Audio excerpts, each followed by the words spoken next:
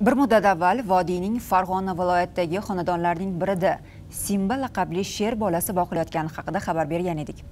Ayni shu mavzu ijtimoiy tarmoq foydalanuvchilari orasida ko'plab mulohaza va o'rinli savollarni o'rtaga tashlanishiga sabab bo'ldi.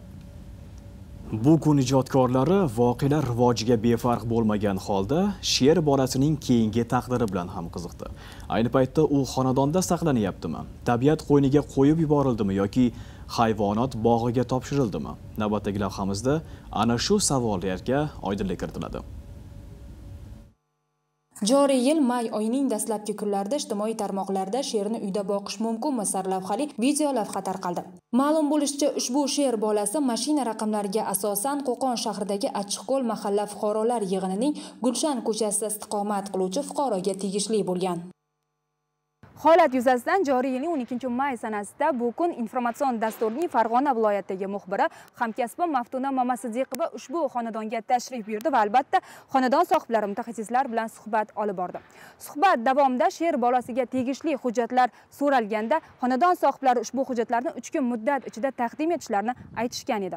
Xo'sh sher bolasining taqdiri nima bo'ldi? Unga tegishli hujjatlar tegishli idoralarga topshirildimi ana shu savollar yuzasidan farg'ona viloyat ekologiya va atrof muhitni muhofaza qilish boshqarmasining qo'qon shahar inspeksiyasiga tashrif buyurdik.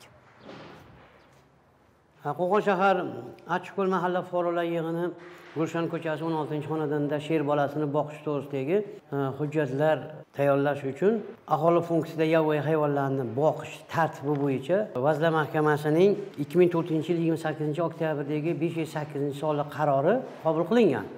Bunda respublika hududiga olib kirish olib chiqish to'g'risidagi e, tartib tamoyillaridan o'tish bo'yicha respublika go'sbiya kontrolidan maxsus ruxsatnoma asosida olib kiriladi olib chiqiladi boqish tartiblari qoidalari tushuntiriladi.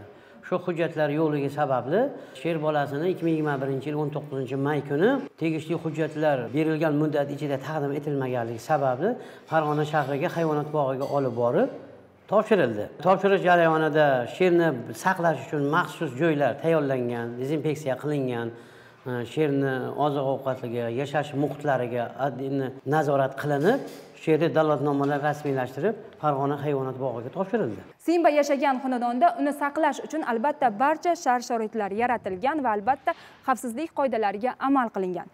Lekin yovvoyi hayvonni xonadonda saqlashga oid tegishli hujjatlar ham shunga mutanosib bo'lishi lozim edi.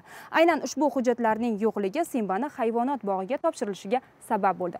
Bu kun muhayyam yilqo'ziyev shohiyor qayumov farg'ona.